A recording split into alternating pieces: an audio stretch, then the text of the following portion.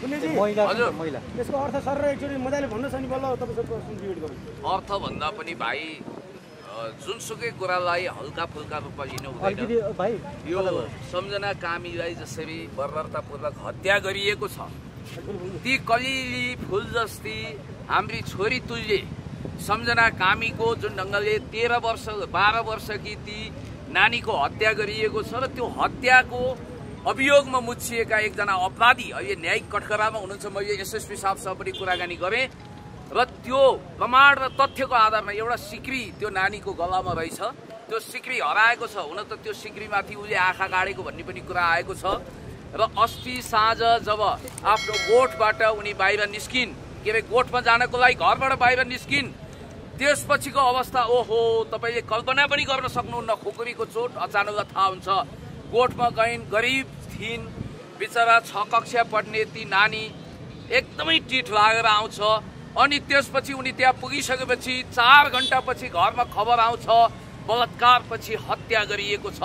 त्यो नाबालिकालाई बलात्कार गर्ने अपराधी त्यो कुख्यात दादा इदी अमिन भन्दा पनि खुङ्खार। विलियम सेक्सपियरको नाटक? विलियम सेक्सपियरको नाटक मर्चेन्ट अफ भेनिसको पात्र साइलक भन्दा पनि खुङ्खार खालको रक्त पिपासु। त्यो अपराधी त्यो बलात्कारी जसले त्यति कलिली फुल जस्ती नानी सुन्नु न वर्क्यो सरकार फर्क्यो सरकार कसले गर्ने? सरकारले गर्ने होइन यो नियम कसले बनाउने? यता आएर पिँडालु। उता आएर पिँडालु ससुराली जाँदा बाह्र हातको पिँडालु जस्तो। अब संयोग हो चितुवा कराउनु र तपाईँको खोरमा सिँगारी बाख्रा हराउनुको संयोग जस्तो हो। यो घटना आपराधिक घटना हो विशुद्ध आपराधिक घटना।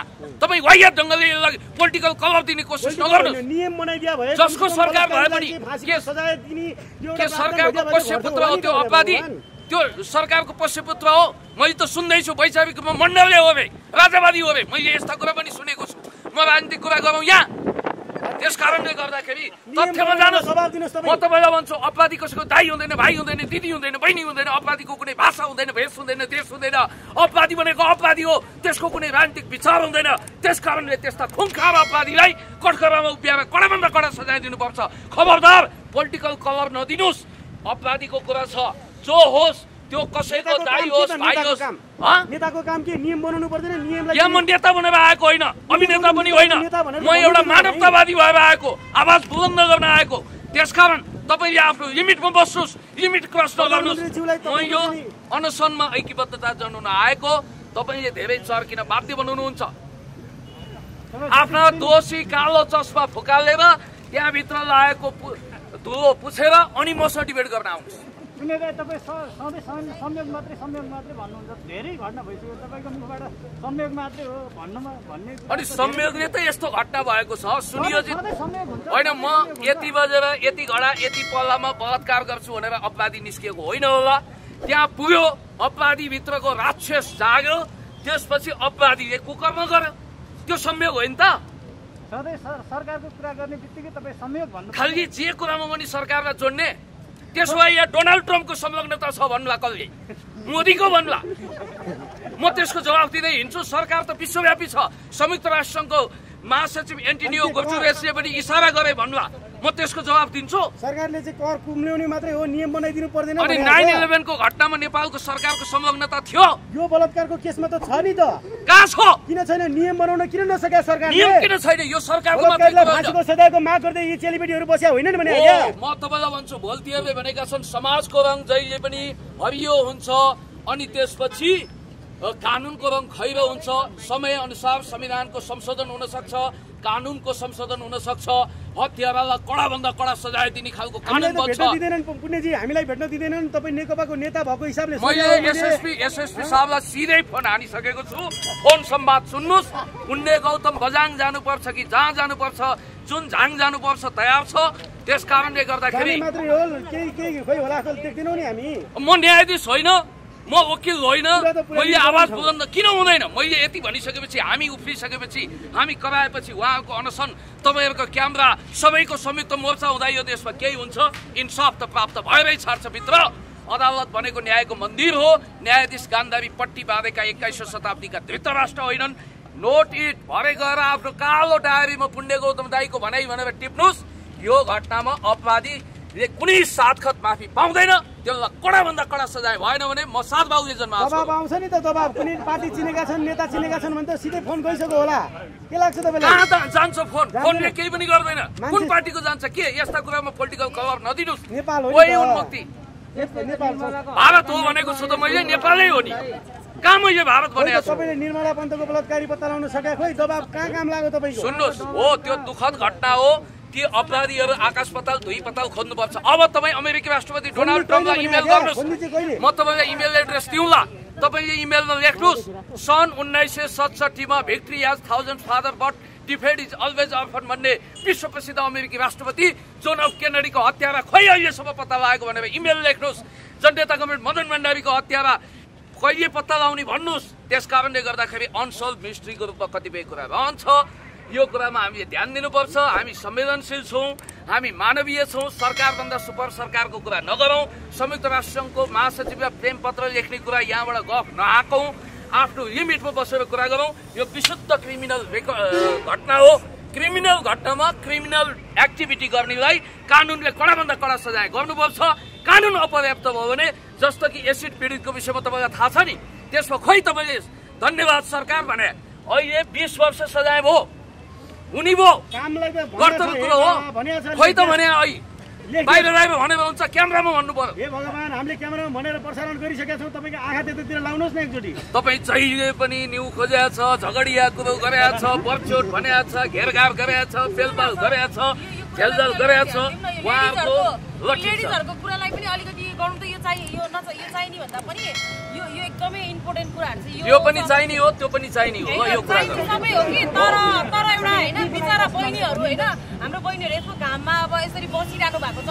उहाँहरूको पनि कुराहरू अब होइन हामीले उहाँकै लागि हो विशेष गरी उहाँहरू अब एउटा किनकि लेडिजलाई अलिकति ध्यान दिनु पर्यो त्यति सबैजनाको माग हामी सबैलाई थाहा छ अब बलात्कारीलाई फाँसीको सजाय हुनु पर्यो बलात्कार जस्तो जघन्य यसमा हाम्रो। सोलिडारिटी छ। म के गर्न बसेको भन्नु हो नि? तपाईँको आँखामा फुलो परेको छैन र तन्डो लागेको छैन। उहाँहरूको जो माग छ त्यो जायज छ त्यसमा सोलिडारिटी व्यक्त गर्न आएको। सरकारले चाहिँ एकदमै सुनिदिनु पर्यो होइन। दिन प्रतिदिन यो दिन प्रतिदिन एकदमै घटना भइरहेछ है यो महिलाहरूको। यो यसमा चाहिँ अब दोषीलाई चाहिँ कहिले पनि उम्किन दिनु भएन। अब एकदमै कडा भन्दा कडा र यो फाँसीको सजाय हुनुपर्छ। अब यो बलात्कारीलाई चाहिँ यो माग चाहिँ हामी राज्यले के कारणले यो नियम बनाउन सकेन होला? अथवा यसलाई रोक्ने के के तत्त्वहरू छन् होला? के लाग्छ? यस्तो अब अब हाम्रो माग भइरहेको छ। अब किन उहाँहरूले फाँसीको माग पुरा गरिराख्नु भएको छ नि त्यो त माग हाम्रो माग त उहाँसँग त त्यो हो नि त। सजाय त अब उहाँहरूले किन दिइराख्नु भएको छैन? अब उहाँहरू पुरुष बढी ऊ हुनुहुन्छ महिलाहरूले सुनिराख्नु भएको छैन। महिलाहरू तत्त्व पनि त निकायमा भएको महिलाहरूले चाहिँ ऊ आवाज उठाइदिनु पर्यो नि त। हामी हामीले त के गर्न सक्छौँ र? हामी त एउटा आवाज यहाँ रोडमा बसेर उठाउने हो नि त होइन? सम्बन्धित ठाउँमा बसेको अहिले नेपाल नेपालमा महिला राष्ट्रपति भएको देश नेपाल। विद्यादेवी भण्डारीज्यू राष्ट्रपति पदमा हुनुहुन्छ तपाईँहरूको कुरो त्यहाँ किन नपुग्या पुऱ्याउन किन नसक्या अब उहाँहरूलाई कार्यान्वयन गर्नको लागि ढोका किन घचघचाउन नसक्या त तपाईँहरू दिनदिनै हामी यहाँ किन आइरहेको केले छौँ त? रोक्यो भन्नुहोस् त केले हामीले रोक्यो यहाँ होइन भनिरहेछौँ हामीले अब त्यहाँ गएर ढोका ढकढकाएर हामीलाई चाहिँ एउटा त्यहाँ हाम- हामीलाई माहौल छैन नि त हामी माइती घर बसेर हामी आफ्नो आफ्नो आवाजहरू निकालिरहेको छौँ नि त होइन उहाँहरूले सुन्नु भएको छैन होला र यो कुरा यहाँलाई धेरै धेरै धन्यवाद र विशेष गरी अब हाम्रो यो बलात्कार जस्तो जघन्य अपराधलाई चाहिँ यो यो कुरालाई चाहिँ एकदमै ध्यान दिनुपर्छ है मिडिया कर्मीहरूले पनि होइन यो कुरालाई चाहिँ एकदमै हाम्रो नारी आवाज चाहिँ अगाडि राखिदिनुपर्छ यो कुरा दिन प्रतिदिन एकदमै धेरै बढिरहेको छ होइन यो कुरालाई चाहिँ अब फाँसीकै माग हामी आम नेपाली अब जति पनि दिदी बहिनीहरूले चाहिँ नि हामी अब यो- यो उम्किन चाहिँ हामी दिँदै दिँदैनौँ के फाँसी नै चाहियो। अब फाँसीको सजाय भएपछि मात्रै यो अलिकति बन्द हुन्छ होला। नभए चाहिँ यो यस्तै नै हो। चौकी बस्ने बाहिर निस्किने गर्ने उनीहरूलाई केही पनि ठुलो कुरा भइरहेको छैन। समय दिनुभयो धन्यवाद। यो हाम्रो कति समयसम्म हुन्छ सर अझ अझै कति समय लाग्छ? यहाँ चाहिँ। शान्ति सुरक्षा गर्ने कुरामा त राज्यको कति पनि उपस्थिति देखिया छैन। सरकारको कति पनि उपस्थिति देखिया छैन। सरकार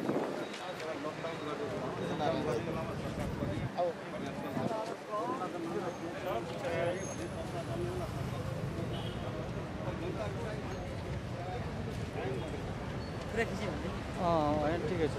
यो फोटो देखेको छैन कि? नेपाल पत्ताको मात्रै लिएर गरेको छ होइन? यो फोटो बल्ल पहिलोचोटि देखेँ। अघि नै कुरा उठेको थियो कि?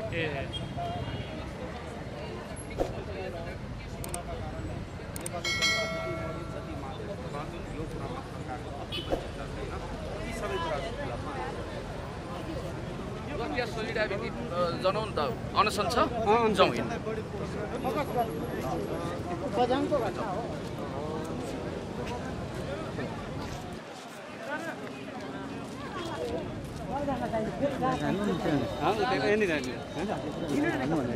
ऊ ब्यालेन्स छैन मेरोबाट उ गर्नु न। हस्पिटल दिन्न ल। यता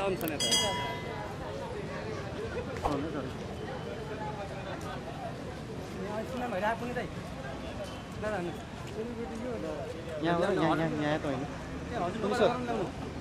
कुनै